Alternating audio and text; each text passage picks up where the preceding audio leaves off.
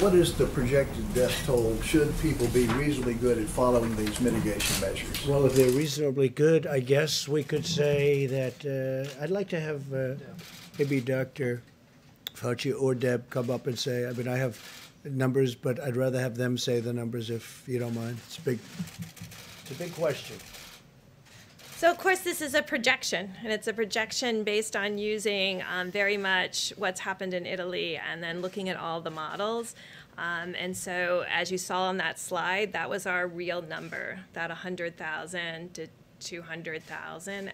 And we think that that is the range. We really believe and hope every day that we can do a lot better than that. Um, because that's not assuming 100% of every American does everything that they're supposed to be doing.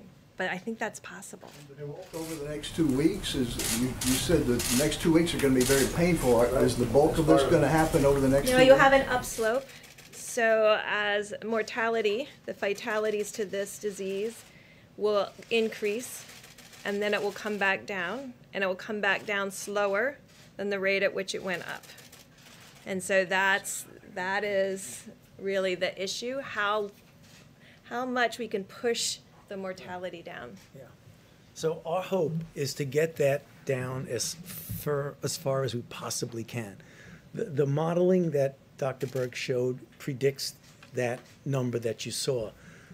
We don't accept that number that that's what's going to be. We're going to be doing everything we can to get it even significantly below that. So, you know, I, I don't want it to be a mixed message. This is the thing that we need to anticipate, but that doesn't mean that that's what we're going to accept. We want to do much, much better than that. But doctor, when we look at the curve, it goes much further in time. So we would have death and cases for much longer. I mean, we do So you expect can put far. up slide number two.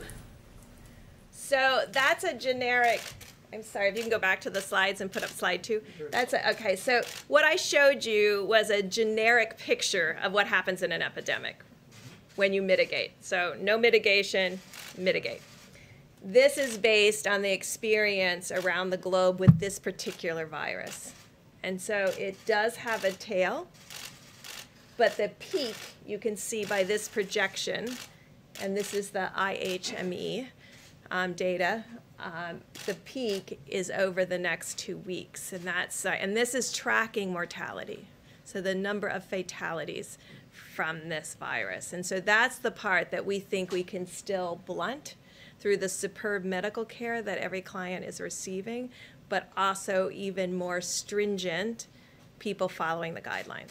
I I can't see the small uh, uh, characters, but are, are we seeing death until June? I can't really. This is June. This is June, so we would still see problems and deaths in June. It's a projection. It's a projection, of course. So, I mean, just getting back to what I said about the stepwise thing, deaths always lag. So you will be seeing deaths at a time when, as an epidemic, we're doing really, really well because the deaths will lag. Dr. Fauci, should Americans be prepared for the likelihood that there will be 100,000 Americans who die from this virus? The, the answer is yes. We need, as, as, as sobering a number as that is, we should be prepared for it. Is it going to be that much? I hope not. And I think the more we push on the mitigation, the less likelihood it would be that number. But as being realistic, we need to prepare ourselves that that is a possibility that that's what we will see. A Very short period of time for that to happen. Right. Can the country handle that in such a short period of time, within a couple of months? Yeah. 50,000 a month? You know, it will be difficult. I mean, no one is denying the fact that we are going through a very, very difficult time right now. I mean, we're seeing what's happening in New York. That is really, really tough.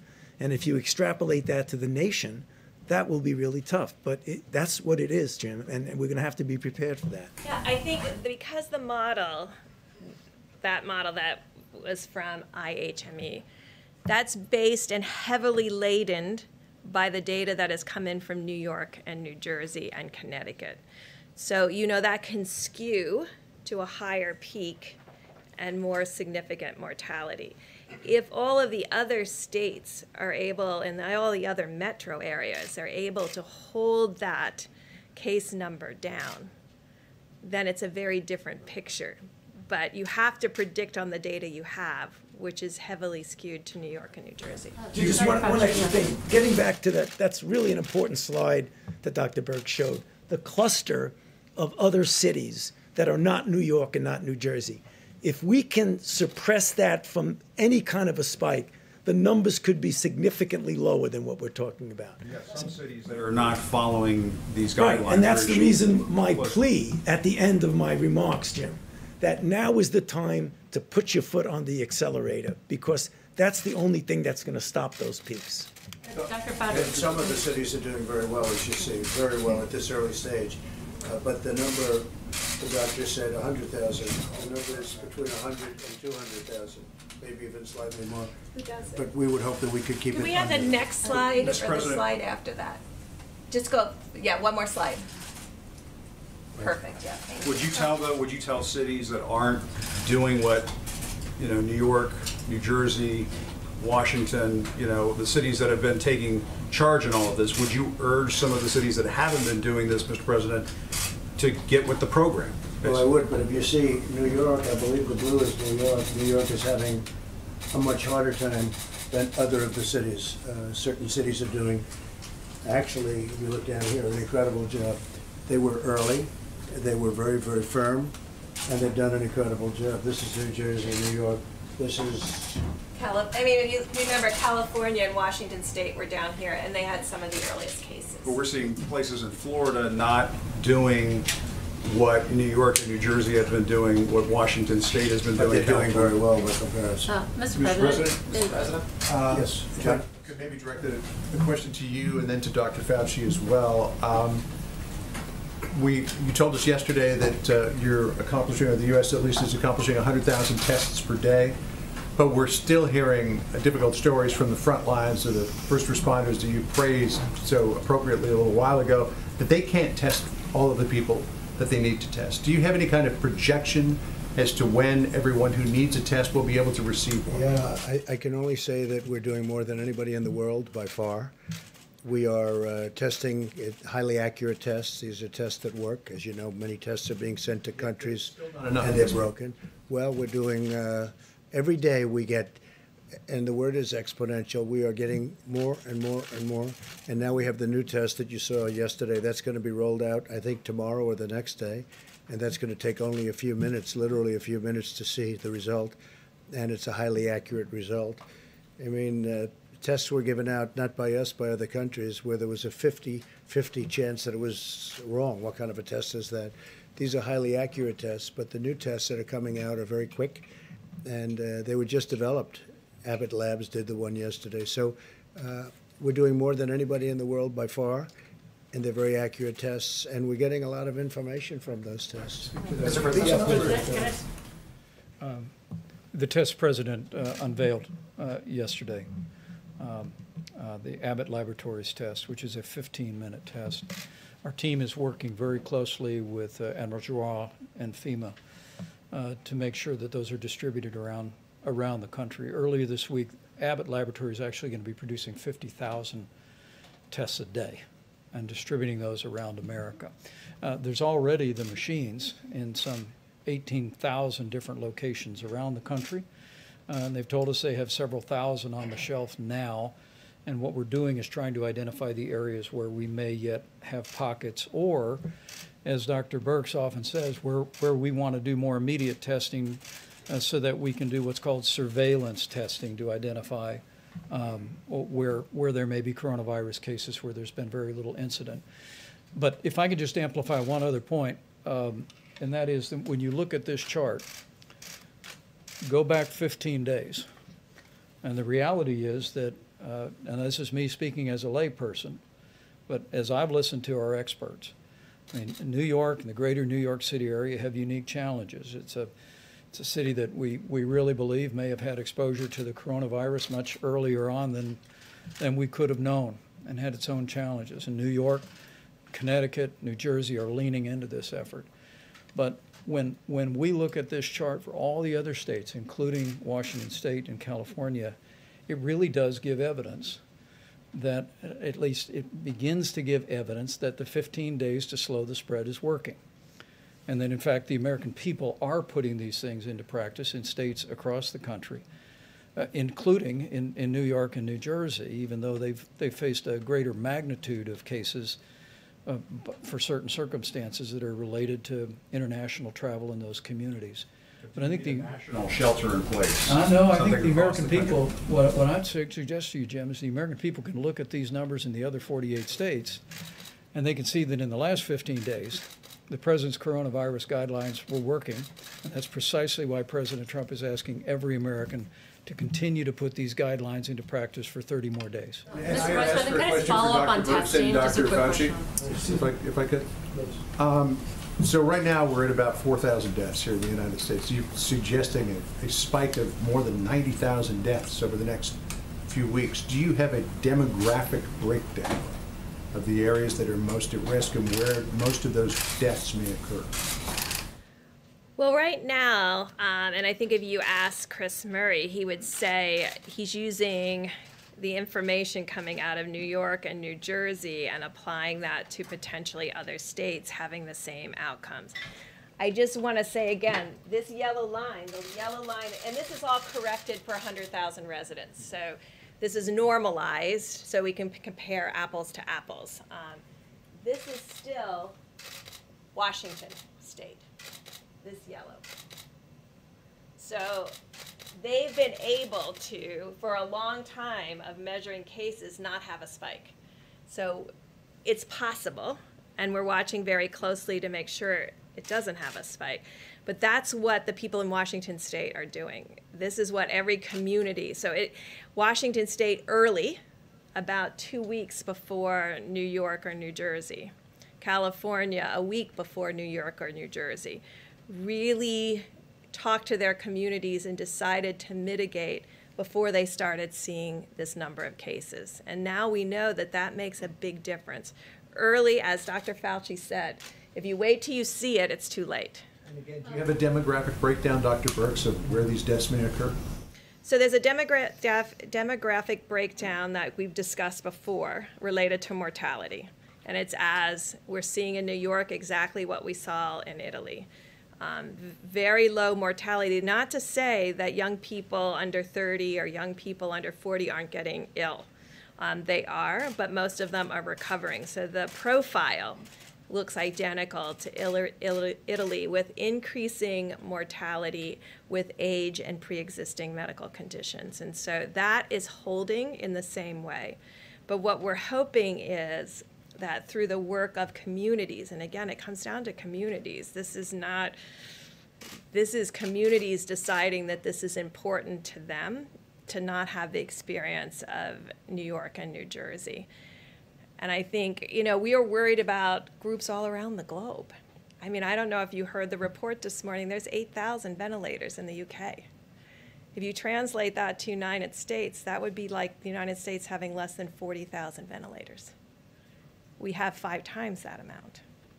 So, I mean, these are the things that everybody is having to face. And I think the United States is in an excellent position from our medical care position, but we don't want to have to test that system. We want this to be a much smaller epidemic with much smaller mortality. Can I just follow up on the testing question real quick before we move on?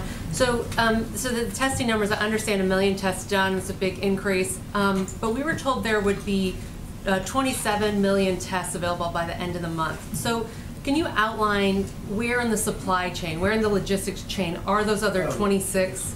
Yeah, where are the other 26 million tests right now? I think this is, um, um, just for purposes of clarifications, there's a difference between sending a test that can be administered to a test being done.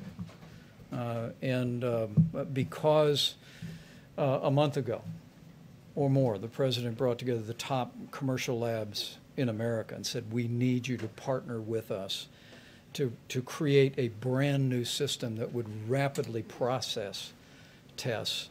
We're now at 1.1 million tests, and we, we believe it's a fair estimate that we're testing about 100,000 Americans a day.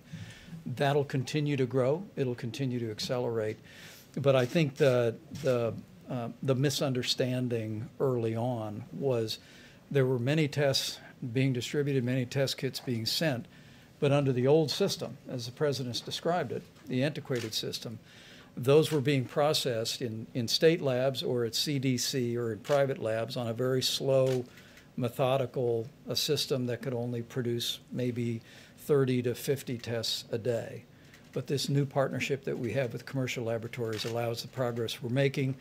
But the breakthrough with Abbott Laboratories now moves to point of care, which means you're going to have devices and tests that people will literally be able to take at their doctor's office, at a hospital, at a clinic, at a nursing home, and have the results in 15 minutes. So those 26 million tests we were talking about, were those tests under the old antiquated system? Yes. And now, so are, are we still even using those, those 27 million tests, or have we just completely moved on to the point The of answer is yes, now so through the new system. even today, which is I have to say, coming out of laboratories and developed tests and worked on vaccines and then gone to the field to actually combat epidemics, it is disappointing to me right now that we have about 500,000 capacity of Abbott tests that are not being utilized. So they are out, they're in the states, they're not being run and not utilized. So now we have to figure out how do we create awareness? Because sometimes when you put an early platform out,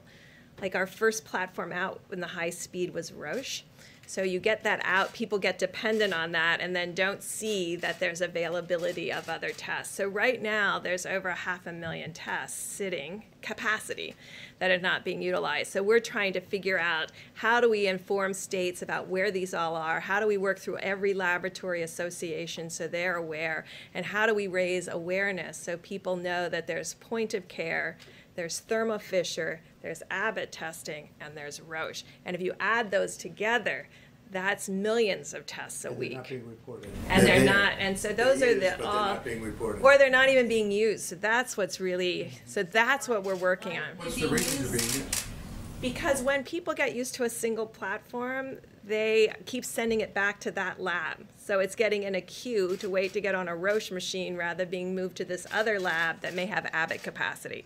Because they're all in different laboratories. And so I think, um, well, actually, Admiral Giroir is figuring it out to really create some kind of visual so that every governor and every health commissioner can see all of their capacity in their countries, I mean, in their states, county by county, so that they know where the tests are. So we pushed a lot of tests out, but they're not all being utilized. And And it's up to the people, and they don't Yeah. send them back. I mean, they use them, they don't send them back. And Doctor, go ahead, please. No, I mean, I, Dr. Birx explained it very, very well. I, I just want to get back, John, to, to, to your, your question. It's a logical question. When you look at the number, you want to know what the demography is going to be. This is a number that we need to anticipate, but we don't necessarily have to accept it as being inevitable. And that's getting back to what I'm saying about we can influence this to a varying degrees. And if we influence it to the maximum, we don't have to accept that. That's something we need to anticipate.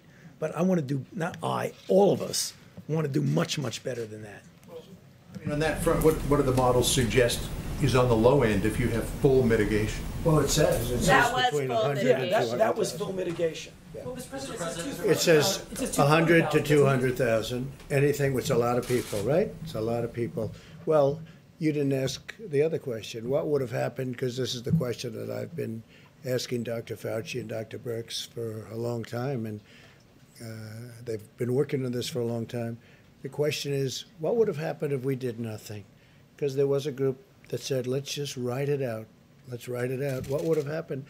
And that number comes in at 1.5 to 1.6 million people, up to 2.2 and even beyond. So that's 2.2 million people would have died if we did nothing. We just carried on our life. Now, I don't think that would have been possible because you would have had people dying all over the place. This would not have been a normal life. How many people have even seen anybody die? You would have seen people dying on airplanes. You would have been seeing people dying in hotel lobbies. You would have seen death all over. So I think from a practical standpoint, uh, that couldn't have been carried out too far. But but if you if you did nothing uh, on the higher side, uh, the number would be 2.2 and maybe even more, and on the lower side, 1.6 million people. Understood, but if those, if one hundred thousand is the number with full mitigation, how, how do you push it, how do you push it lower? so, no, we'll go together. We've All been right. at this a long time. You go first. So, John, it's an obvious, very good question. If this is full mitig- mitigation and it's 100,000, why am I standing here saying I want to make it better? Because that's what the model tells you it's going to do. What we do is that every time we get more data, you feed it back in and relook at the model. Is the model really telling you what's actually going on? And again, I know my modeling colleagues are going to not be happy with me, but models are as good as the assumptions you put into them. And as we get more data, then you put it in, and that might change. So even though it says, according to the model, which is a good model that we're dealing with, this is full mitigation. As we get more data as the weeks go by, that could be modified. Why does the model now, the top line on the lowball estimate, why does that not top out? I think it said 240,000, not 200,000. Is that a change? Is that because the states haven't been doing enough?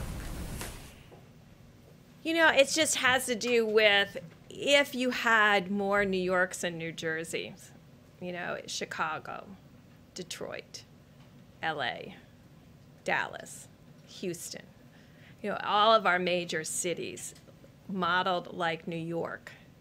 That's what gets us into trouble. But I am reassured by looking at the Seattle line, by looking at the LA line, by looking at what California's been able to do, that that is not something that I don't believe that's going to happen. Um, that is the outside case of having 10, 15 metros like New York and the New Jersey metro area. New York had community spread pretty early undetected, so don't many of those other states, if not more of them, who had even less information, aren't they likely to see the same spike? Well, California and Washington State reacted very early to this. I mean, yes, Washington State had some of the earliest infections. They have kept it low and steady, and for now, a month has been tracking it with a small increase in the number of cases, but not this logarithmic form of the virus. And so that's the that's the piece that we're trying to prevent. That's the piece that we're trying to prevent in New Orleans, in Detroit, in Chicago, and in Boston right now. Um, and, and trying to make sure that each of those cities work more like California than the New York metro area. Um, Mr. President, I just wanted to get your thoughts on face masks. We asked you about this yesterday, and you signaled you were thinking about it. Yeah, Just It- to end yeah. the last topic, though, I I think I can say this because I spoke to Dr. Birx before and to Dr. Fauci. Uh, For whatever reason, New York got off to a very late start. And you see what happens when you get off to a late start. Uh, New Jersey got off to, and, and I think both governors are doing an excellent job, but they got off to a very late start. Uh, when you look at Washington State, if you remember, that all started in a very confined nursing home. And you had 20 some odd people, I believe, dying in one home. That doesn't mean it escaped that home. And so they have a very different statistic than other states. But uh, I mean, I remember it very vividly the nursing home in, in uh, Washington State, where you had many people dying. Every day, people were dying in the one exact location. So they were able to keep that, relatively speaking, into that location. But on the, fa- on the facial coverage. Were you surprised when you saw these projections? The numbers are sobering. They're very sobering. Yeah, when you see 100,000 people, that's at a, and that's at a minimum number. Now, what we're looking at, and as many people as we're talking about, whatever we can do under that number and substantially under that number, we've done that through really great mitigation. We've done that through a lot of uh, very dedicated American people. That uh, you know, 100,000 is is according to modeling, a very low number. In fact, when I first saw the number, and I asked this a while ago, they said it's unlikely you'll be able to attain that. I think we're doing better than that. Now, I think we have to see, but I think we're doing better than that because, as John said, that would be, you know, a lot of lives taking place over a relatively short period of time. But think of what would have happened if we didn't do anything. I mean, I've had many friends, business people, people with great actually common sense. They said, why don't we write it out? A lot of people have said, a lot of people have thought about it. Write it out. Don't do anything. Just write it out and think of it as the flu. But it's not the flu. It's vicious. When you send a friend to the hospital and you call up to find out how is he doing, it happened to me, where he goes to the hospital, he says goodbye, he's sort of a tough guy, uh, a little older, a little heavier than he'd like to be, frankly. And you call up the next day, how's he doing? And he's in a coma? This is not the flu. So we would have seen things had we done nothing. But for a long while, a lot of people were asking that question, I think, right? I was asking it also. I mean, a lot of people were saying, well, let's just write it out. This is not to be written out, eh, because then you would have been looking at potentially 2.2 million people or more. 2.2 million people in a relatively short period of time. Uh, if you remember, uh, they were looking at that concept. It's a concept, I guess, you know, it's a concept. If you if you don't mind death, a lot of death. Uh, but they were looking at that in the UK, remember? They were very much looking at it. And all of a sudden they went hard the other way because they started seeing things that weren't good. So they, they were, you know, they put themselves in a little bit of a problem. Now, Boris tested positive, and I hear he's, I hope he's going to be fine. But in the UK, they were looking at that. Uh, and they have a name for it, but we won't even call we won't even go by the name. But it would have been it would have been very catastrophic, I think, if that would have happened. But that was something that everybody was talking about, Steve. Like, just don't do anything. Don't do anything. Forget about everything. Just write it out. They use the expression "write it out." We would have had, at a minimum, 1.5, 1.6, but you would have had perhaps more than 2.2 million people dying in a very short period of time and that would have been a number that the likes of which we've never seen. So now, when we look at our package that we just approved for two trillion dollars, all of a sudden it seems very reasonable, right? When you're talking about two million lives, all of a sudden it seems very reasonable. I must say, a lot of people that have been seeing the more advanced numbers, because these are much more advanced numbers now you know, when you first started, we didn't know, and this was a different kind of a virus, and nobody knew that much about it. Even the experts, you don't really know where it's going. But then they see what goes on in Italy, and they see what goes on in Spain, uh, and you see uh, France is having a very hard time, and other countries having a very, very hard time. But once they see what's going on, they start making projections. So I hope they're going to be very high projections, but uh, based on everything else, that would be the number. Let's see if we can do much better than that. I hope we can. Yeah, John? What about masks? You didn't, you didn't answer a question about Yeah, the masks. mask. Uh, What's your recommendation? okay. Well, I understand there's an issue with supplies, That's but right. if there well, was it's, enough it's for this way. everyone You know, you can use a scarf. A scarf is everybody. A lot of people have scarves, and you can use a scarf. Scarf would be very good. And I, my, my feeling is, if people want to do it, there's certainly no harm to it. Uh, I would say do it, but use a scarf if you want. You know, rather than going out and getting a mask or whatever. We're making millions and millions of masks, but we want them to go to the hospitals. I mean, one of the things that Dr. Fauci told me today is we don't want them competing. We don't want everybody competing with the hospitals where you really need them. So you can use scarves. You can use something else over your face. It doesn't have to be a mask. But it's not a bad idea, at least for a period of time. I mean, eventually you're not going to want to do that. You're not going to have to do that. This is going to be gone. It'll be gone. Hopefully, gone for a long time. Please. Mr. President, uh, the the mitigation steps that are on your 30-day plan, is that enough or is more needed? Have you been Well, we're discussing going to that find out. We hope it's enough. We hope it's enough. We hope we're at a level where we can say, let's go because our country wants to get back to work. We really want to get back. Everybody wants to get back to work. Um, now, I could ask the doctors to answer that question, but we discuss that all the time. What do you think?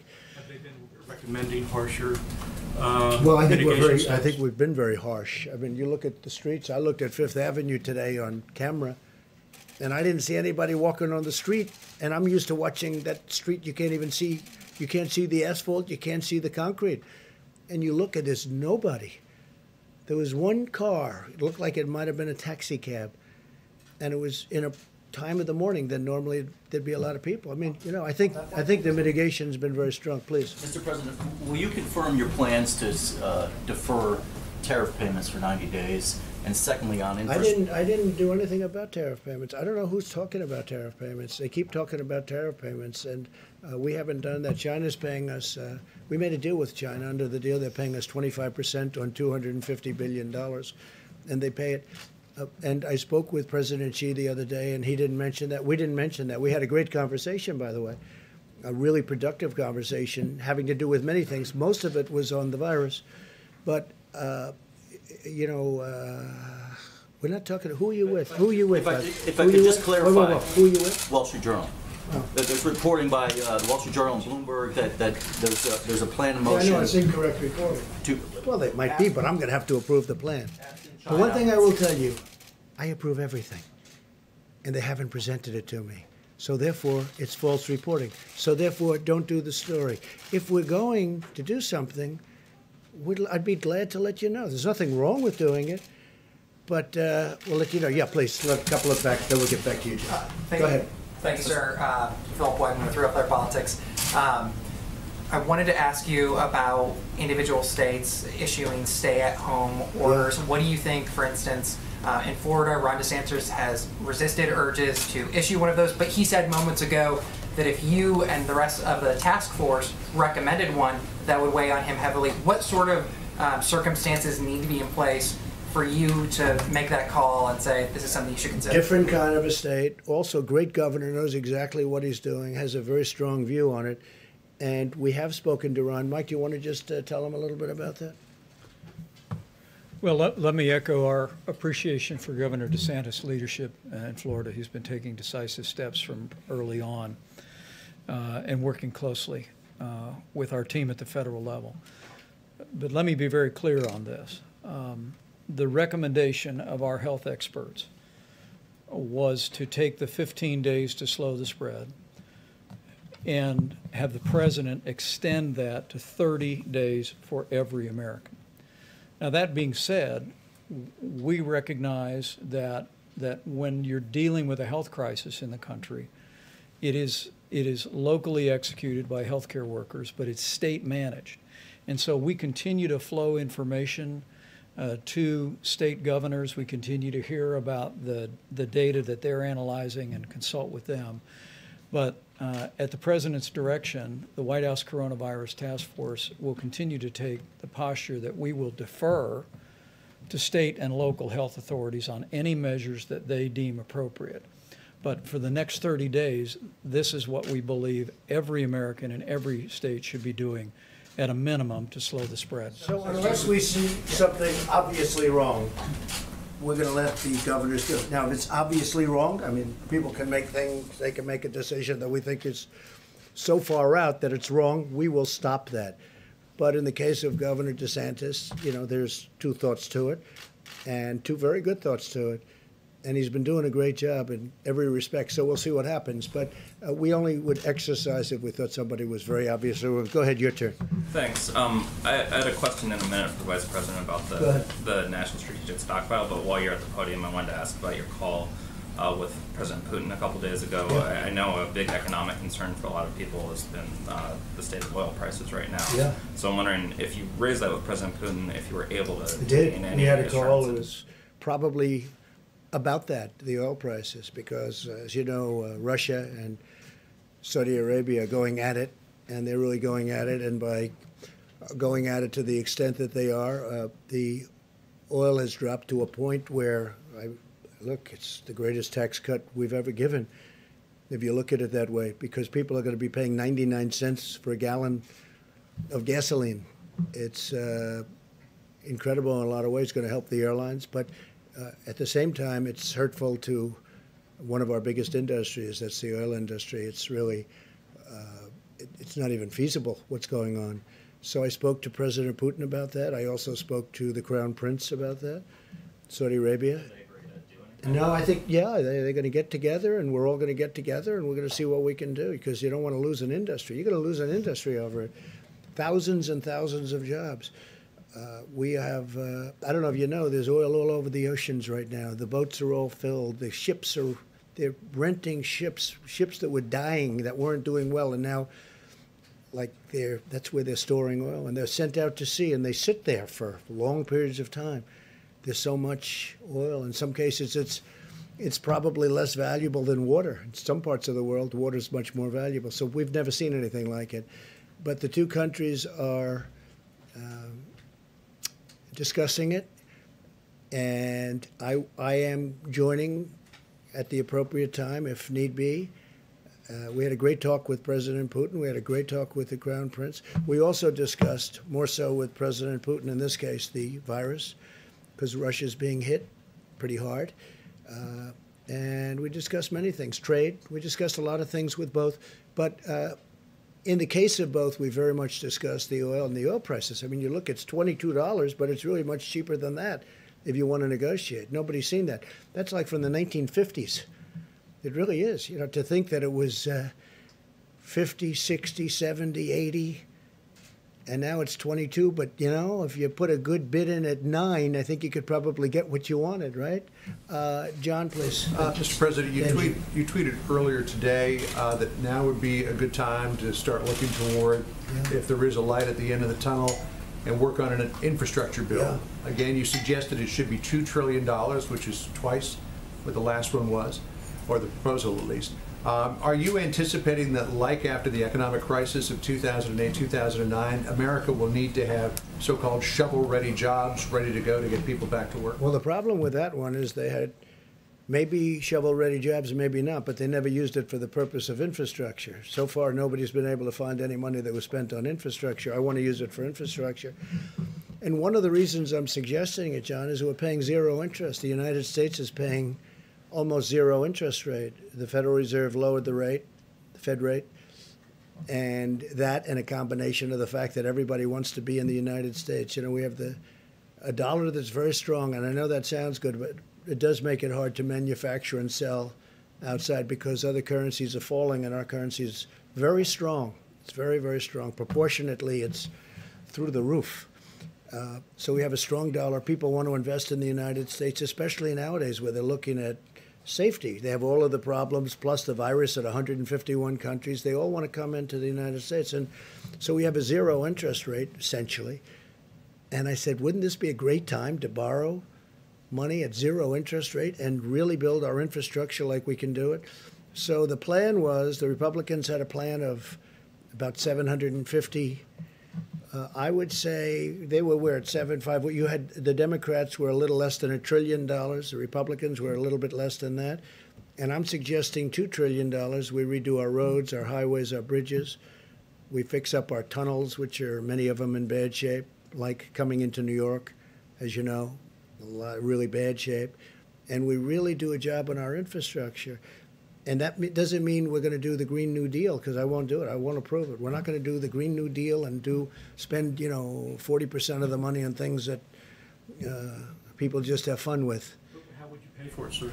Uh, we're going to borrow the money at zero percent interest, so our interest payments would be almost zero, and we can borrow long term. People want to be in the United States. They want to be invested in the United States. Go ahead, Jim. I, I wanted to get back to the virus. Uh, you were saying at the beginning of the press conference that you're looking at holding back 10,000 ventilators. Is that because you need to pick and choose where these ventilators are going to have to go because of the nature of the pandemic? Right, it's good how question. spreading? And also, I, I just wanted to ask Dr. Fauci and Dr. Birx, if it's possible after you finish, is that part of the reason why you're projecting 100,000 to 200,000 deaths? That there are going to be some people who aren't going to be able to get ventilators or be put on Actually, just the opposite, because we're holding back, we have almost 10,000, and we're holding because we're going to need them over the next couple of weeks as the surge goes on. You see the chart. We haven't hit the top yet, and we have to be able to move them immediately. And we can't take them because it's going to be very hard to do that. We can't take them to places that aren't needing them. Plus, we have requests for ventilators in hospitals and in states and cities that don't need them, in our opinion. They don't need them. They won't need them at the top. So we're holding it back for flexibility. We actually just took 600 and we sent them to different locations today. But we have close to 10,000 and we'll be able to get them, and we're all set to march. We have the National Guards and we have FEMA, and we're all set to move them to the places. So, as per your second question, what we're going to do is save lives because of it, because otherwise we would not be able to get to the ventilators. And we don't know what the hottest We have spot a is. ventilator shortage right now. Uh, in some areas we might. Uh, but we've done a great job with ventilators, and we're having them made unbelievable. We have now 11 companies making ventilators. Now they'll be starting to arrive in the next week, but we've also uh, grabbed a lot of them. Some hospitals had more than they were saying, or at least more than we knew about, which is a good thing, not a bad thing. Uh, but we want to be able to have, I guess the word would be flexibility, so that if the surge turns out to be much stronger in Louisiana, which it could, that we can immediately bring a thousand or two thousand to Louisiana. Otherwise, we wouldn't be able to get them. We wouldn't be able to say, "Listen, uh, Governor Cuomo in New York, we want to take ventilators away from New York," and they'll say, "Well, we can't do that. It would be a disaster." So, we have great flexibility now. When the surge occurs, if it occurs fairly evenly, we'll be able to distribute them very quickly before they need them. But we want to have we have a, a reserve right now. It's like having oil reserves, except more valuable, frankly. But we have a reserve right now, and we'll be able. And we also have a great team of people ready to deliver. They can move them fast.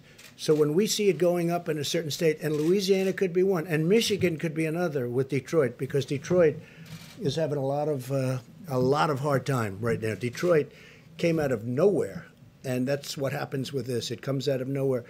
So we are ready, Jim, depending on what happens, and we have a stockpile, and that's why it's called a stockpile. Now, a lot of the uh, ventilators and a lot of the other equipment, rather than sending it to the stockpile, we had it sent directly to a hospital, to a location, to a place. So we didn't have the cumbersome nature of having it come in, unboxed, put in, and then delivered. We have it brought, which they've never done before. They don't do that. Generally speaking, they don't do that. But we've had, I think, Mike, we've had tremendous success at doing that. That's for other items, including ventilators, where it's brought to the site that needs it. But we have a good supply of ventilators, and we're ready to go. We're all ready. We're, we have trucks ready. We have everything ready because, as we're saying, John, this could be a hell of a bad two weeks. This is going to be a very bad two and maybe even three weeks. This is going to be three weeks like we haven't seen before.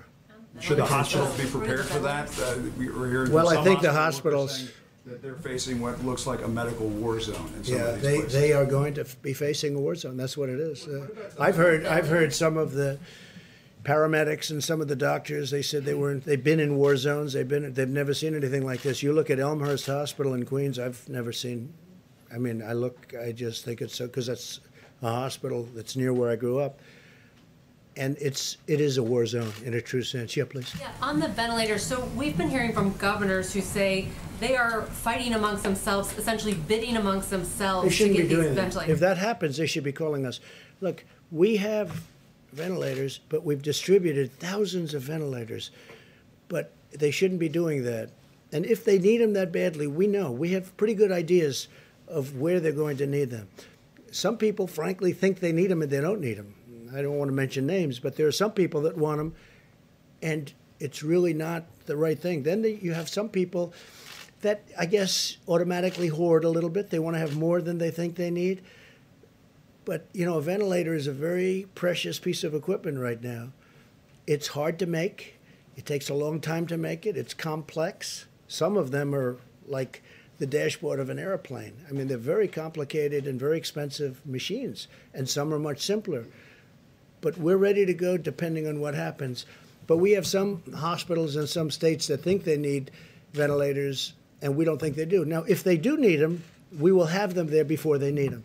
We'll be able to move very quickly. So you're confident What that about the hydroxychloroquine? Is there any early data on these trials? Nothing that I've heard. I mean, that's the first question I make every morning. I tell you, I call up, you know, we have 1,100, 1,100 in New York right now, and we have other locations where they're, uh, where patients, people are taking them. Uh, now, the good news is it's only three days, and you know, it's like a seven or eight day treatment. The good news is we haven't heard anything bad. In other words, there's been no catastrophic events. Uh, but we haven't, it's a little bit too soon to talk about it. It would be a total game changer, John, if that happened. If that happened, it would be a game changer. And we include that in that, and I think in all cases, the Z-Pak, you know what the Z-Pak is. So uh, we're going to see what happens with the hydroxychloroquine. Are there other- are there Yeah, other- just one second, Steve, other antiviral drugs that are, that have some promise of of working soon? We're looking at a lot of them. We're looking at a lot of them. Some show promise. Uh, I I think maybe the doctor might want to speak about the vaccines because a lot of Johnson and Johnson is advanced, very advanced. We'll see what happens. The one thing with the vaccine is you it doesn't help this group because this group uh, you know you need to test a vaccine. The one thing with the drug you just mentioned, right, is that that's been out. It's a malaria drug and also an arthritis drug, so it's been out there for a long time. Very powerful drug, but it's been out there for a long time. So it's tested in the sense that you know it doesn't kill you. But you may want to discuss the vaccines for a second, Dr. Thank, thank you, Mr. President. But just for a second before the vaccine, in answer to your question, Steve, there are a number of candidates. The, the drugs that are now being looked at in various ways, either compassionate use, clinical trials, are generally drugs that already exist for other things. There's a whole menu of drugs and interventions that are now going into clinical trials that are not approved for anything yet. I mean, for example, things like uh, immune serum, uh, convalescent plasma, or hyperimmune globulin, or monoclonal antibodies, a variety of other things. Right now, there's a lot of activity going on behind the scenes in the design of the kinds of clinical trials that will give us an answer. Because you need an answer, because if it doesn't work, you want to get it off the table and go to the next one. So there are a lot of things. Vaccine. Uh, uh, Normally take, weeks, months? yeah, no, it takes at least months, at least months, at least. So, I mean, that's the reason why you're seeing a lot of activity with drugs that already exist for other purposes because they're already there. But the drugs that you want to show in a good randomized clinical trial, at very best, are going to take months. Just one word on the vaccine. You know, exactly like we said, we hope that as we get into the summer, if in fact there are cases out there when you're in a phase two or phase three trial or two, 2B, as we call it, that we might get an early efficacy signal. And an efficacy signal means that even though you haven't definitively proven that a vaccine works, you get enough information that if it were an emergency, you might be able to have an emergency use authorization for it. That that's, that's, that sounds And, good. and I have to say this, uh, hy- hydroxychloroquine and azithromycin, which is, you know, you take it with it, maybe, if you want, for the uh, infection. I think some medical workers are doing that, using it maybe, or getting it prescribed perhaps as, uh, for another use. But the word is that some are and some aren't. I mean, I think it's not a bad idea to do it, but that's up to the doctors. But there is a, a theory going around that in our country and some other countries, people are taking that that work in the hospitals, that work with the patients, because there is some evidence. And again, it's going to have to be proven. It's very early. You know, we're rushing this stuff through. Was, this was supposed to take a long time to be approved, and I prevailed upon the FDA to get it approved immediately on the basis that it was already on the market for a lot of years for another use, malaria mostly, and arthritis, but mostly malaria. So uh, we'll see what happens. But there is a theory out there that for the medical worker, doctor, it may work. It may work. And if you take it, it's uh, you know it's been out there for a long time. Please go ahead. I just wanted to, to go back to Jim's question about the national stockpile. The, the governor of Connecticut today. About which? The national stock, strategic stockpile. Governor of Connecticut t- today said that he was disturbed to learn um, that the stockpile is now empty. That's his words. Um, and he said, Well, it's not empty. Let me explain something.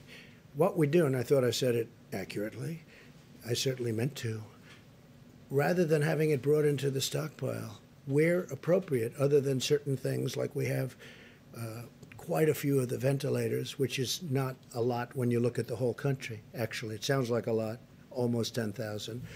But we're trying to have supply sent directly to the states because we save a big state.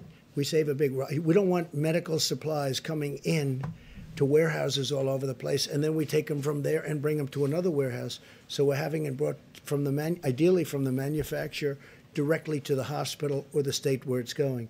So uh, we're trying to keep it that way as much as possible. Now, in some cases, we are having it brought. Remember this: we also took over a virtually empty, and I say it again, just like we had no ammunition in the military, and we had virtually no ammunition. Well, we had very little in medical supplies too in our stockpile.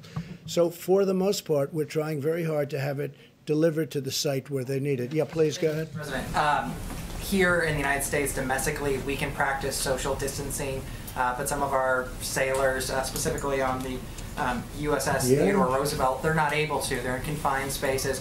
What are your thoughts on that? Should they be offloaded?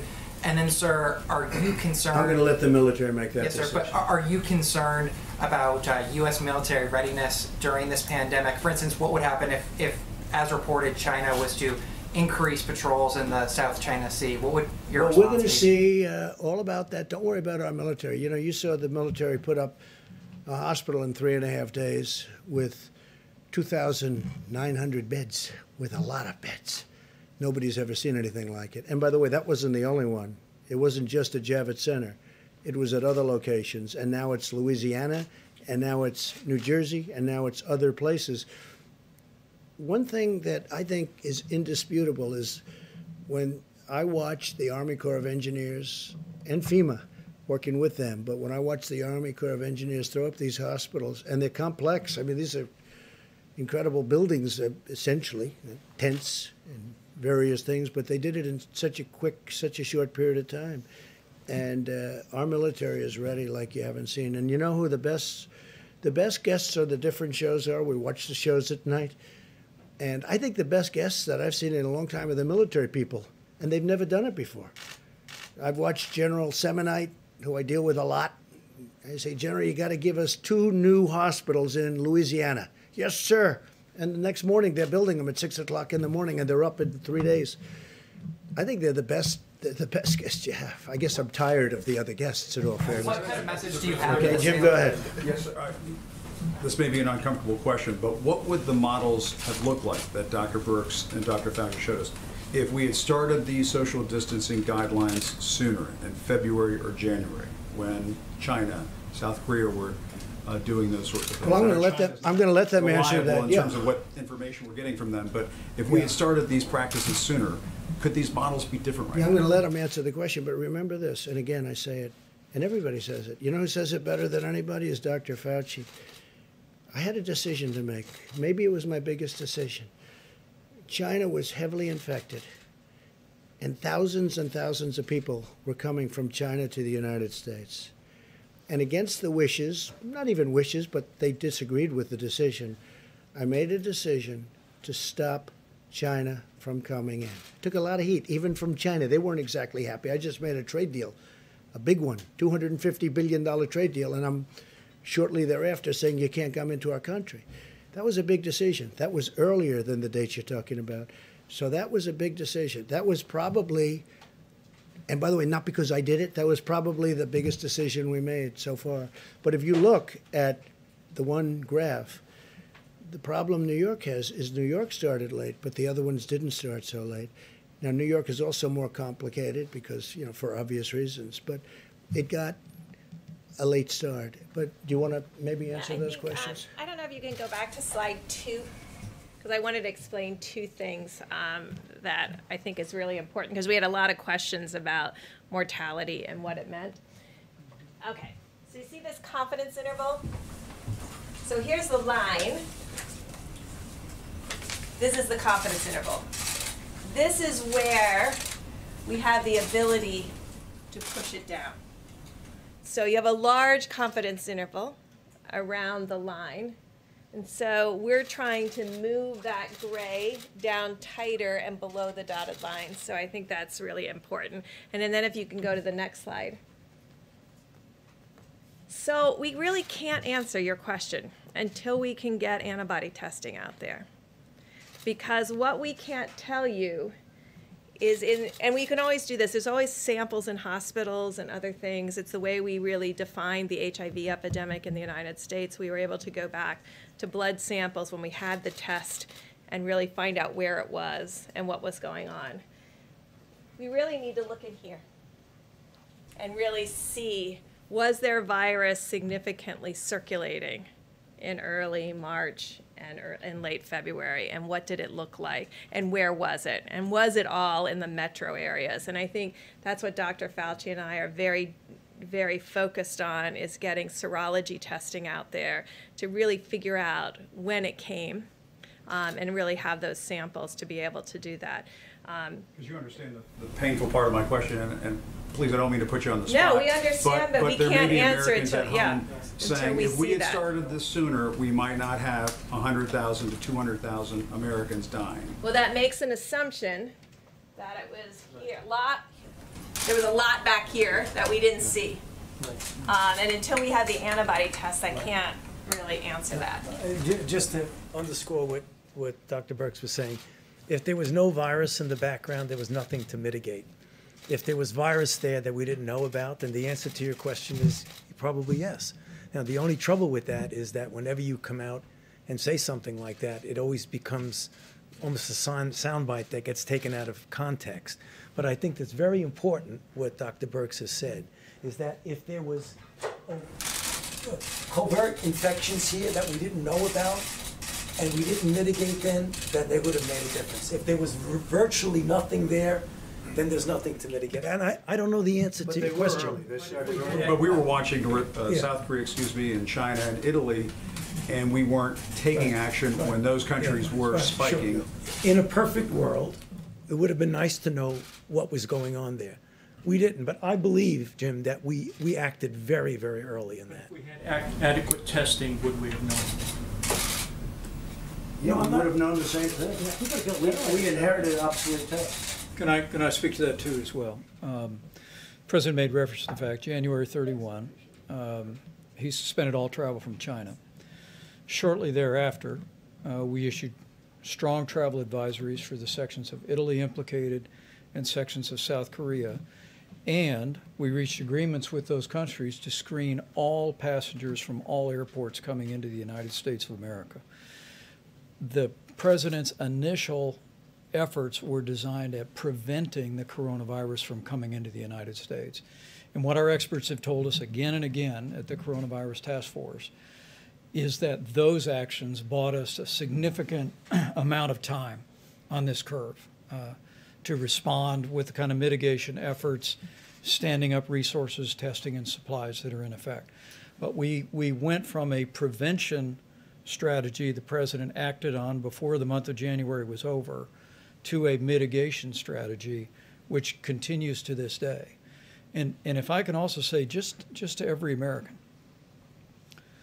all the questions about resources are very important. And I can assure you that the president and our task force are preoccupied with these issues and working with governors hour by hour to meet those needs.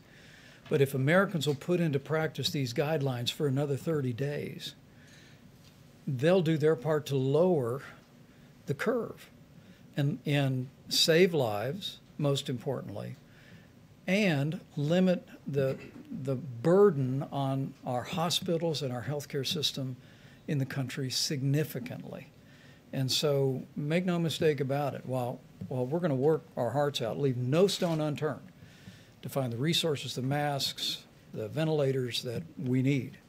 Uh, and we are going to meet that moment with the full energy of the American economy and the whole of the American government. The American people have a role to play in preserving that medical capacity in a way that will ensure that people that are caught up in the coronavirus, particularly those that are vulnerable to the most serious outcomes, which are seniors with serious underlying health conditions or anyone with an immunodeficiency, have the resources, the support, and the health care that every American family would want their loved one to have. I, I do think we were very early, but I also think that we were very smart because we stopped China. We had never done that before. You know, we had never closed our borders before, as I read. I read, I don't know, maybe that's not right. And uh, Dr. Fauci had also said that was, a, that was, I think it was maybe the biggest moment because we were stopping the source, we were stopping the infection, but we also stopped Europe very shortly thereafter. That was a big decision. That was not an easy decision either. I stopped them a long time before people started stopping anyway. So we stopped China, we stopped Europe, we stopped all of Europe, and then ultimately we stopped UK, Ireland. Uh, yes. Mr. Uh, President, you please in the back, the- the very back, please.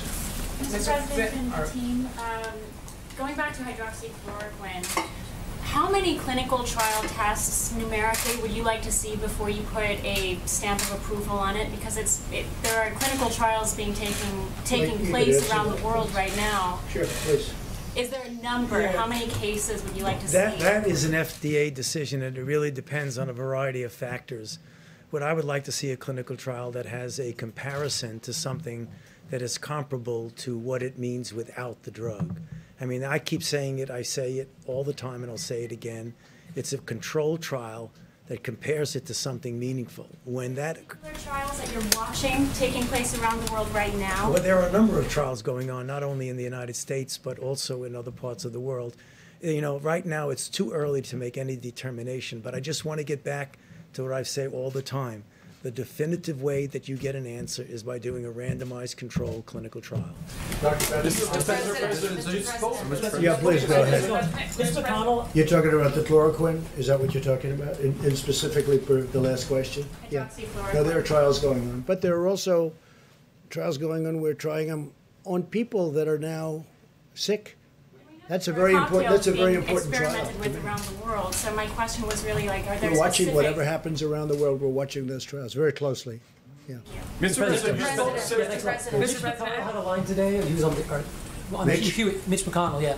He said that impeachment diverted the attention of the government. Do you think that in any way, this, this was happening and building at the same time, did it divert your attention or your team's attention or the vice president's attention? Well, I don't like to think I did. I think I handled it very well, but I guess it probably did. I mean, I got impeached. I think, you know, I certainly devoted a little time to thinking about it, right? So, uh, but think of it. It was a hoax. It was a total hoax. And when you think that I got impeached only because they had a majority in the House, they didn't get one, they didn't get one Republican vote. 196 to nothing. Not one Republican. It's nev- I don't think it's ever happened. The Republicans stuck together, and they stuck together in the Senate 52 to a half. A half. So, you know, when you say that, yeah, I think it took a lot of. I, I see them going and saying about speed. Well, uh, they probably illegally impeached me in the sense that if you look at the FBI today with what happened, the horrible things, nobody cares about that now because all they're thinking about is the virus, and that's okay with me. But you look at the report that came out from I.G. Horowitz, uh, it's disgraceful what went on. It's disgraceful. It's a total disgrace. They got caught in the act. But, but you know what? We won't talk about that now. Uh, did it divert my attention? I think I'm getting A pluses for the way I handled myself during a phony impeachment. Okay, it was a hoax, but certainly, I guess I thought of it, and um, I think I probably acted. I don't think I would have done any better had I not been impeached. Okay, and I think that's a great tribute to something. Maybe it's a tribute to me, but I don't think I would have acted any differently, or I don't think I would have acted any faster. Uh, but the Democrats, their whole their whole life, their whole being, their whole existence was to try and get me out of office any way they can, even if it was a phony deal. And it was a phony deal. And it turned out, and all you have to do is look today at the FBI reports, take a look at what the FBI did.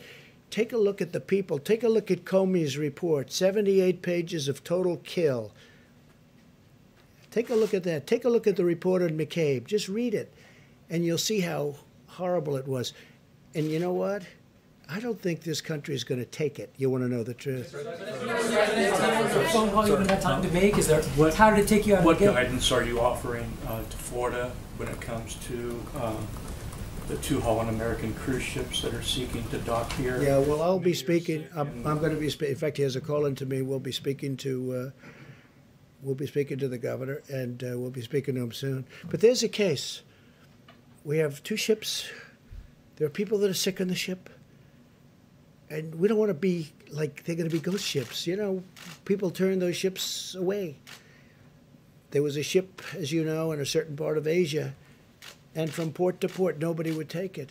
But in the meantime, you have people that are dying on the ship, or at least very sick, but they're dying on the ship.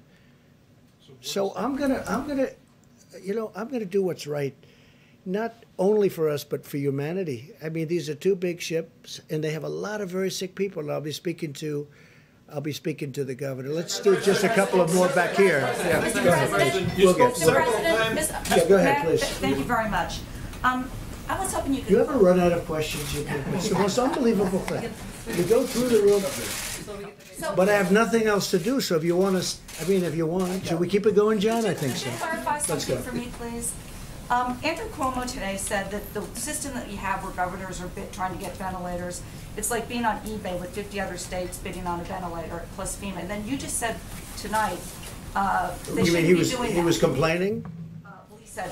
I- Say it, say it. What did he say exactly? What did he say? Uh, he said that when, when you have states competing for ventilators in medical care, it's like being on eBay with fifty other states bidding on a ventilator. Well, he shouldn't be complaining because we gave him a lot of ventilators. And if you take a look at the chart, it's down. But I wish he got going a little bit sooner.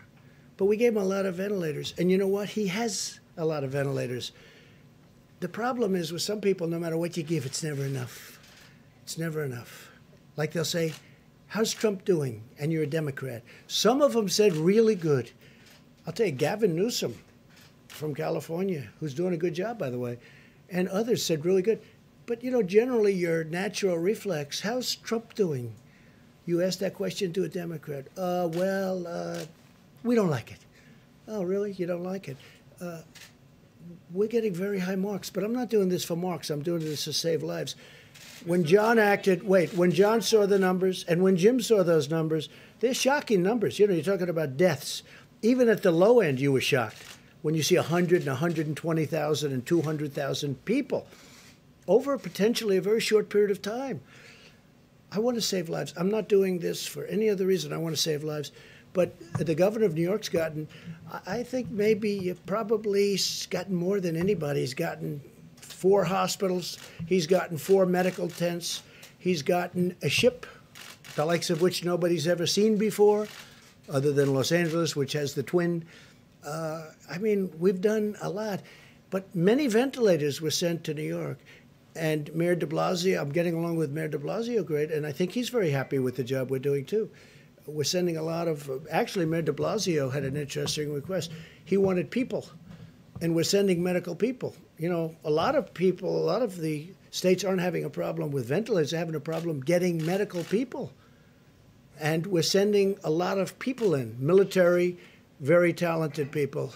Uh, who, who didn't go? Your- Go ahead, and then I'll do your second. Your response You to that question Gavin was, Newsom. your response to that question earlier was that they shouldn't be doing that. If they need something, we'll, we'll, if they need them They that shouldn't be doing what?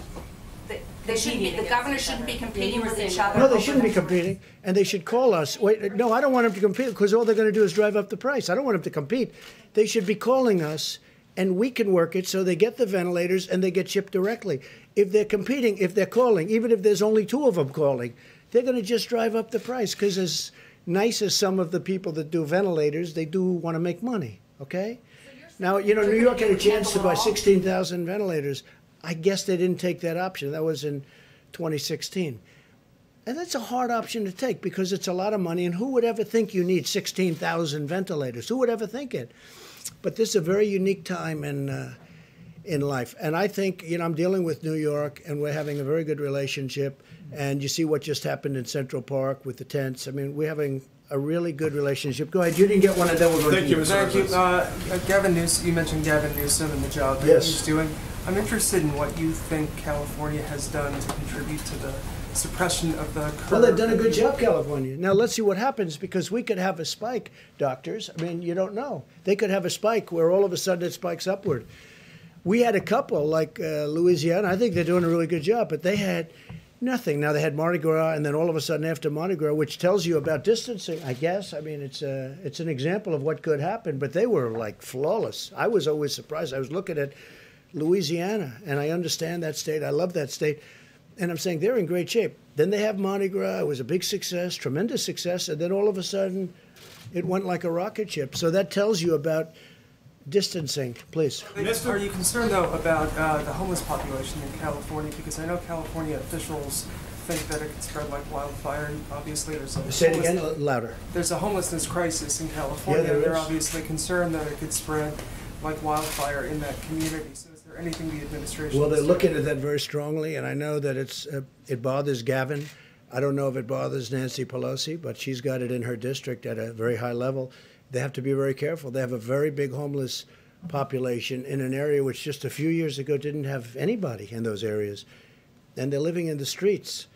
And they're, I, I know that some people in California are working on that very hard. Mr. President, you spoke several times with uh, Prime Minister Trudeau, uh, President Macron, and at the end of last week, President Macron talked about an important initiative that you and him would launch. Any news on that? No, we're talking about something that will be very positive for the world if we do it.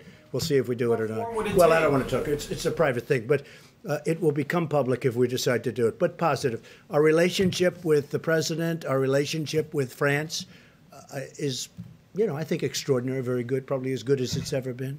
Back to your comments about what could have happened and, and the actions that you took.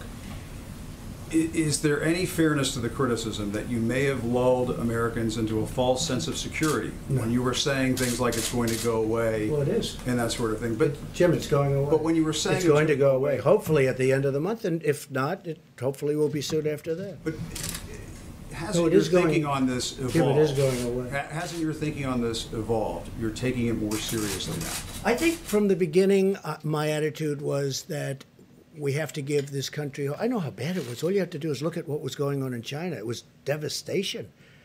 And well, yeah, look at the numbers from China. Those initial numbers coming out from China. But you know, I read an article today which was very interesting. They say we wish President Trump would give more bad news. Give bad news. I'm not about bad news. I want to give people hope. I want to give people a feeling that we all have a chance. I mean, when when you saw when you saw the numbers, and when John and all of you saw those numbers, and you were saying 120,000 people, you mean that's good? 100,000 dead people within a short period of time. I want to give people a feeling of hope. I could be very negative. I could say, wait a minute, those numbers are terrible. This is going to be horrible. This is a horrible thing. Hey, Jim. Last month and said, okay, let's go to the beach, let's go to the airport, let's go down to Mardi Gras. Well, there were a lot Let's of people. There were a lot of people that could have said that. We didn't say that. Fortunately, I didn't say that, and that was an alternative. We talked about it. That was always an alternative. That's what I said. Let it rip. Let it ride. Do nothing, and we could have had 2.2 million dead people, more than that, because I didn't do that. And we did catch it early, and we stopped China really early, and we stopped Europe really early because I saw what was happening. What what happened is I stopped Italy because Italy was really heavily infected. We started off with certain parts of Italy, then all of Italy, then we saw Spain. Then I said, stop Europe. Let's stop Europe. We have to stop them from coming here. Europe. I love Europe. But they were having problems. I don't think anybody did a better job than that, especially when you see the 2.2 million number. And I hope we're going to be substantially under the numbers that you're looking at, at on the minimum side. Then I think we will have, hey, look, it's still tremendous death. You weren't just hoping that it would dissipate, that this would disappear. I want to be positive. I don't want to be negative. I have to. I'm a positive person. Somebody said, "Oh, I wish you'd be more negative." They literally have that. It's in one of the wonderful newspapers today. I wish it'd be more negative. Well, this is really easy to be negative about. But I want to give people hope too. You know, I'm a cheerleader for the country. We're going through the worst thing that the country's probably ever seen. Look, we had the Civil War, we lost 600,000 people, right? Here's the thing had we not done anything, we would have lost many times that. But we did something, and so it's going to be hopefully way under that. But, you know, we lose more here potentially than you lose in world wars as a country. So there's nothing positive, there's nothing great about it, but I want to give people in this country hope. I think it's very It was important. going to be this severe when you were saying this was under I control. thought it could be. I knew everything. I knew it could be horrible, and I knew it could be maybe good. Don't forget, at that time, people didn't know that much about it. Even the experts, we were talking about it. We didn't know where it was going. We saw China, but that was it. Maybe it would have stopped at China. We wish we could have killed it in China, but it didn't happen. It started spreading to Europe. It started spreading here. It started spreading all over. But, and I'm not blaming anybody. I'm just saying that we have an incredible thing. I think the people, our professionals, our military, our governors, our politicians, I think they've done an incredible job. I mean, with few exceptions, I think they've done an incredible job. But I don't want to be a negative person. It'd be so much easier for me to come up and say, We have bad news. We're going to lose 220,000 people, and it's going to happen over the next few weeks. And with that, I did start off by saying today, long before this question, I said, this is going to be a rough two or three weeks. This is going to be one of the roughest two or three weeks we've ever had in our country. We're going to lose thousands of people. When I see 28, 29 people from the governor of New Jersey, 29 people. When you see 173 people died in New York yesterday, or whatever the number was, I think it was more than that. When you see the kind of numbers that we're witnessing, we've never seen numbers like that. So it's easy to be negative, and then everybody can be negative. But I'm a cheerleader for our country, and I want them to do a great job. So the number can be kept, and I've always said it I want as few a number of people to die as possible, and that's all we're working on. Are you, you don't like the question, but are you now taking responsibility? I don't mind the question. Do you, do you? I don't mind your you- question. I think I think it's actually I think it's things it's not meant to be. point? Look, I know you well enough, so it's not meant to be a fair question, but it is a fair question. I think we've done a fantastic job. Okay, fine. I'll I'll accept your word. Look, Jim, I think we've done a great job. We're going to see how it comes out. But when you look at minimal numbers of 120,000 people, when you look at it could have been 2.2 million people died and more if we did nothing, if we just did nothing. It would have gone up, it would have come down. As per your statement, it would have been confined. It would have been a similar time, maybe even less time. It would have been a violence like we've never seen in this country before. We had great professionals, great military, really great governors and politicians. I cannot say enough about what's going on. And as per what you said, I think we're way ahead of schedule in terms of numbers. I think, I hope. But if we can keep it under the minimum numbers, uh, the country has done, not me, the country has done a, a great job. But I think I've done a really good job of mobilizing. I think Mike Pence has been fantastic. I put him in charge of the task force. We have wonderful people on the task force, Jim. Wonderful people. This man was working literally. He had days where he didn't go to bed, he didn't go to sleep. He called. He went 24 hours and then started the next day. People don't know the job he did. I didn't even know he was that good of a manager, to be honest with you, Mike. Okay, and you know, you never know that about somebody until they're tested under fire. But he saw it very early, also. We both did. They saw it very early. They knew pretty soon. They probably knew sooner than anybody, because that's what they study. That's what they do. Must be a depressing business, right? Must be a little bit depressing. But they've they've seen it all. Uh, go ahead, Jim. Can I ask Dr. Fauci a question about a headline that's been running all day uh, to get his perspective on it? Uh, there is a professor from MIT, Dr. Fauci, who suggests that coronavirus can be carried on droplets a distance of 27 feet. Uh, do you buy into that? And if that might be the case, does that suggest that current social distancing guidelines may need to be extended? This could really be terribly misleading, John. What it was was looking at the distance that droplets fly by speaking, by coughing, by sneezing. So if you go way back and go achoo and go like that, you might get 27 feet. But so when you see somebody do that, get out of the way. There are some people but that that's not practical. I know people that can do That is not practical, John. I, I'm sorry, but I was disturbed by that report because that's misleading. That means that all of a sudden the six foot thing doesn't work. That is a very, very robust, vigorous achoo sneeze. That's what that is. And that's not what we're talking about. You want to keep going? One more, I have one more, sir. All right, go ahead. How about over? I've got a follow-up on the mask, sir, but uh, first, you mentioned Franklin Graham earlier, Yes. talking to him. As you know, his father, Billy Graham, was a trusted spiritual advisor and friend to many presidents. A a lot of your predecessors in times of national emergency reached out to pastors and other spiritual counselors. Have you done that during this national Well, I never say that, but Franklin Graham is somebody that's very special. I have many very special people, and uh, very many special in the evangelical, evangelical Christian community. Uh, you can talk rabbis, you can talk a lot of, you know, I have tremendous support from religious leaders. And uh, Franklin Graham, I just spoke to him today for an extended period of time. I told him what a fantastic job you're doing. And he does this, he loves doing it, he loves helping people.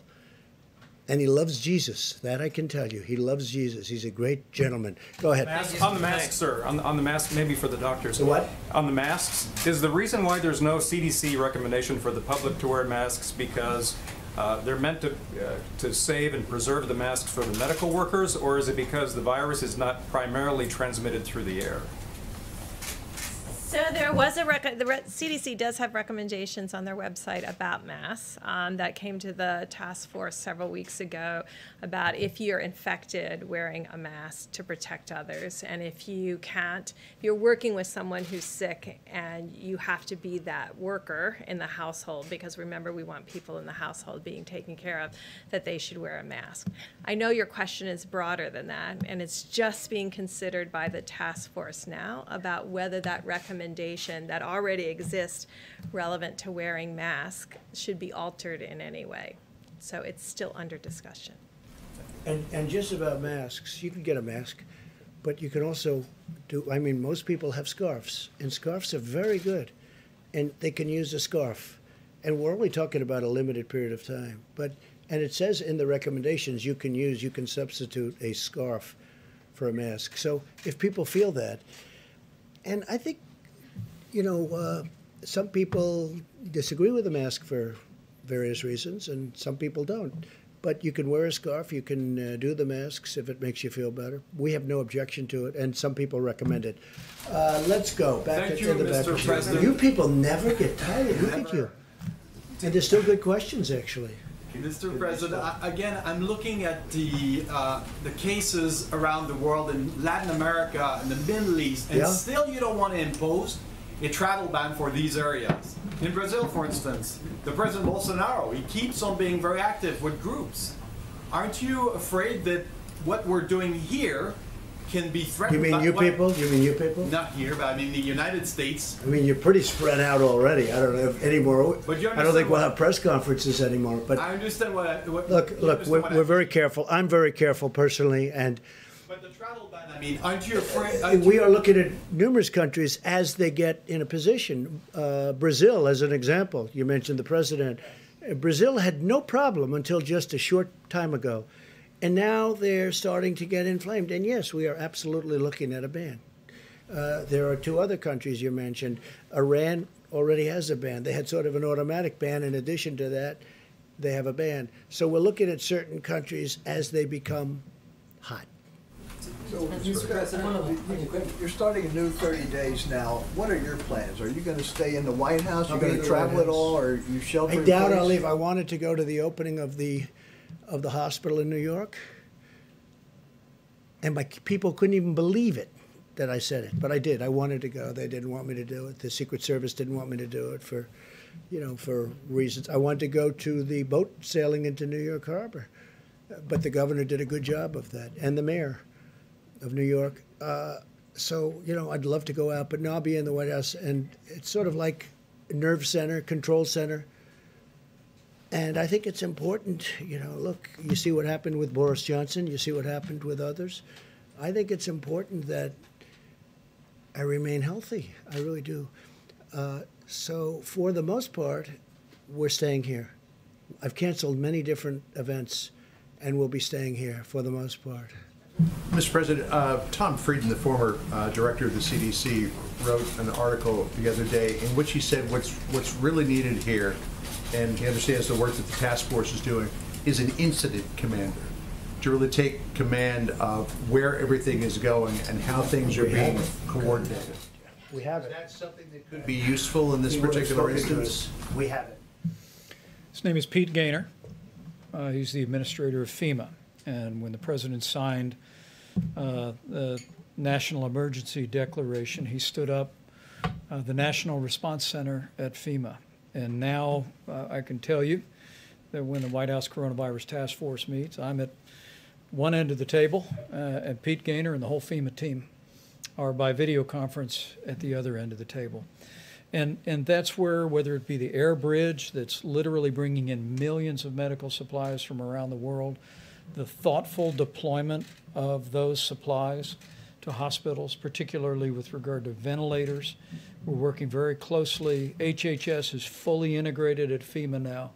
But uh, because of the president's decision to stand up uh, FEMA in the lead, uh, we have a coronavirus task force at the White House that's bringing the president the very best health experts and recommendations from every agency.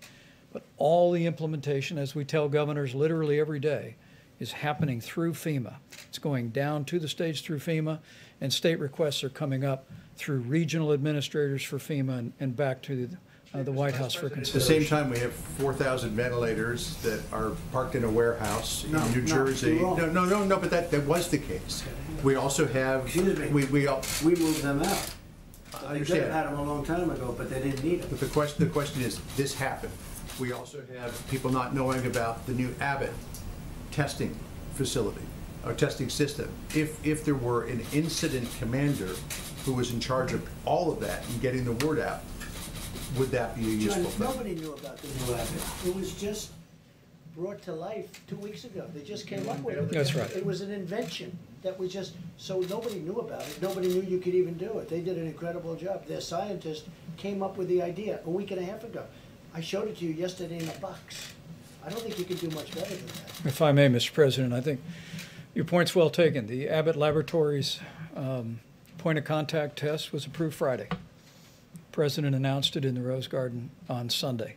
Should have done it. We're socializing that uh, all across the country to every governor, to laboratories elsewhere. And, and I have to tell you, that this team uh, that the president has assembled, the advisors on the White House Coronavirus Task Force, and then this team at FEMA, whether it be HHS Deputy Secretary Bob Kadlec, who's coordinating all supplies, whether it be Admiral Giroir, who is uh, literally working with every state on a county by county basis to deploy testing, uh, is is impressive. And and I think it's given great encouragement uh, to governors. Uh, President and I spoke to governors in all the states and territories again yesterday, uh, because governors, I can tell you from my own experience as a governor, uh, in Indiana, we had tornadoes and flooding. Governors know how to deal with FEMA. And as soon as the president stood up FEMA, declared that national emergency, what I'll call a certain amount of muscle memory kicked in in, in states around the country. And we're really seeing a tremendous efficiency and communication. Uh, and, and that's how we're going to go forward. Again, the president's vision here is FEMA's vision, which is in response to a health crisis, it's locally executed, state managed, federally supported. Um, and, I, and I have to tell you, we're, uh, uh, we're, we're seeing that whole process spinning up every day. And I, I hope Americans looking on are encouraged uh, by that system. And I know they're hearing from governors around the country about the flow of resources and testing and supplies. And uh, uh, we'll continue to keep that, what you call an incident command, what, what we call the Federal Emergency Management Agency, uh, working 24 7. And, and I have to say this, I've had, in the last less than a week, three governors call up that truly have disliked me over the years, even before I decided to run for president. And they said, I have to tell you, you've done a great job. You and your team have done a great job. These are three governors, respected, very respected in two cases. And they said, like or not like, you and your team have done an incredible job. And I think they have. I think they've done an incredible job. Go ahead, please. Mr. President, thanks so much. My first question is on modeling.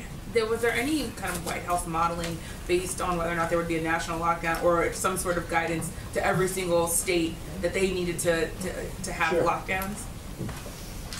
So um, I, g- all of the modelers who presented did. I mean, I just want to thank them again because they assembled from around the globe very quickly about two or three weeks ago to um, before we announced the first 15 days to show all the implications of closing the schools, having people stay in their homes, and that's how it was modeled. Stay in your homes, social distancing of six feet. So, I, no one actually turned it a lockdown, as far as I remember. It was more about staying in your home. And I think the difference was, and these weren't in the models, and I think um, when you talk about could we have known something different, you know, I think all of us, I mean, I was overseas when this happened in Africa, and I think when you looked at the China data originally and you said, oh, well, there's 80 million people or 20 million people in Wuhan and 80 million people in Hubei, and they come up with a number of 50,000, you start thinking of this more like SARS than you do this kind of global pandemic. I mean, I'll just be frank. That when I looked at it, I was like, oh, well, this is not, you know, if as close as those quarters are, you know. So I think the medical community made interpreted the Chinese data as that this was serious but smaller than anyone expected because the, I think probably we were missing um, significant amount of the data now that when we see what happened to Italy and we see what happened to Spain. And so what was modeled is not a lockdown. Um, two countries did remove people from homes that were positive and put them in separate spaces. Um, that also wasn't modeled, but it could be modeled. And so we could go back and ask the modelers about lockdown versus not lockdown, but what they modeled was people staying at home. I guess what I was asking is for best case scenario, since it says best case scenario is 100,000 people. I know you're trying to get that number even lower, but is best case scenario every state basically having lockdown behavior, not maybe actual lockdowns, but basically everyone staying in their homes. So if that's and if that if that's true, why not tell every state to do that? It's everybody social distancing by six feet when they're outside. Um, and that is probably absolutely the key more than anything else is if you're never more than if you're never within six feet of any single individual um, then you've controlled the virus there are different methods to get you to that point and i think what i've heard from our president and our vice president is they trust the american people to understand that they can be outside, take walks, be six feet away from anyone else, and be in their homes. And we trust them to do that without having to lock down. And then, Mr. President, a question on I ventilators. just, I just want to add, I think the one thing nobody really knew about this virus was how contagious it was. It's so incredibly contagious, and nobody knew that. This is like, uh, I don't know that anybody's ever seen anything like this. Normally, you'd have to get close and touch, and this, a lot of things have to happen. This is just like, it's it's truly invisible and so contagious. And I don't think any doctor knew it at the time. I don't think anybody could have known it. People have not seen anything like this. Yeah, so a question about ventilators. You, you talked about the fact that you don't want to see states bidding against each other. This, the governor of New York, Andrew Cuomo, said that there should be a federal system where the federal government sets the price, the federal government distributes the ventilators. Why not have that kind of system? Why have this? Well, essentially, we do. We've distributed thousands of ventilators, and we have now thousands of ventilators, and we're buying them at a good price, and we're actually making them by the thousands. We're making them. You saw yesterday where Ford is going to have a tremendous number. They're looking to make 100,000 ventilators. Uh, Ford has been great. General Electric Healthcare has been great. Uh, General Motors has come a long way. I have to be honest. They're working very hard. We're making thousands and thousands of ventilators. You know, at the end of this, and there will be, don't say I'm optimistic, because I don't want to, you know, I wouldn't want to do that. But I am optimistic. I'm a very optimistic person. Let me tell you, we will have thousands of ventilators. And what I want to do is make sure that we always have plenty for the future, but then we want to help Italy and France and other countries that you don't even know about yet with all of the problems they have. Because ventilators are very tough to come by. They're very hard to make. They're very complicated. They're very expensive. Yeah, please. Is Governor, is Governor Cuomo mistaken? You could you could go ahead. Go ahead. Is Governor Cuomo mistaken when he's saying? Well, that I don't know. You know, I, I can't take your interpretation of what he said. I don't know what he said. I think he's been reasonably generous considering he's a Democrat and I think he'd like to run for president. So I think he's been pretty generous under those circumstances. But uh, he's been very generous to me. Look, I got him ships, I got him hospitals, I got him a lot of things that uh, he never thought he had pay dirt, okay? And I've been very generous on ventilators. If you look, they had 2,000 and 4,000. They had thousands of ventilators in his warehouse, in their warehouse, waiting to be picked up. They never picked them up. So I'd have to hear it from him, face to face. Uh, Do you want to, how about one more, and we'll, See you tomorrow. Is that okay? Don't say that I cut it short. They'll say he. That's right. It could be almost tomorrow. But you know what? In the meantime, I'm sure I'm sure people are enjoying it. No, it's a, it's a. I will say this. It's an incredibly dark topic, an incredibly horrible topic, and it's incredibly interesting. That's why everybody is. Uh, it's. Uh, they're going crazy. They can't get enough of it, and they want to be careful. And I guess they're studying it for themselves. They're studying if they get it. A lot of people have it. A lot of people are positive, and they hope for the best. Because when this gets the wrong person, meaning a person that qualifies, generally speaking, under the list, it it is ravaging. It is horrible. Go ahead. How about you in the back? Thank you. Uh, is there any data to suggest uh, that you're going to see a second wave at the point at which uh, these these stay-at-home orders, these lockdowns? Well, if we do see a second wave, because I've heard Dr. Fauci answer this question, if we do, we're going to be, I think, very well prepared. And the second wave won't be like the first wave. And with that, I better let him give you a little bit more to that answer because I don't want to have him upset with me and say, I wish you would have answered that question. Come on, doctor. So when you talk about second wave, I think you really are talking about two two different things that are a little bit different.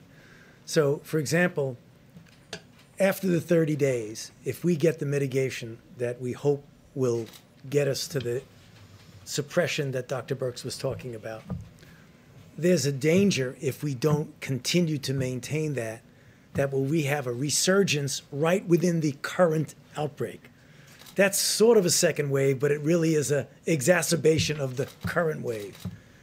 We hope that doesn't happen, and that's why we're really pushing and why I was so emphatic about making sure we abide by those mitigation strategies.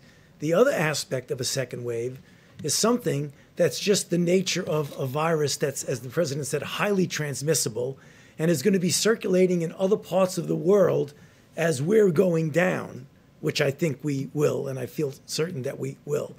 Then we have to worry about the next season.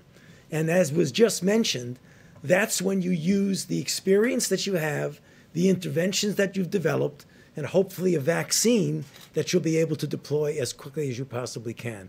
That's that second wave that really is more seasonal than an exacerbation of something that you pull back on. Dr. Fauci, can I And, ask and you a a lot of a lot of very mortality rate? positive things are happening with the therapeutics and uh, drugs of different kinds and the vaccines. I think a lot of very positive things are happening. Okay, one more.